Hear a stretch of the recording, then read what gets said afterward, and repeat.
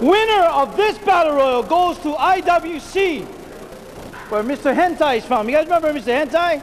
Yeah! So, for your first person that's coming out, Kenryu Takadoki.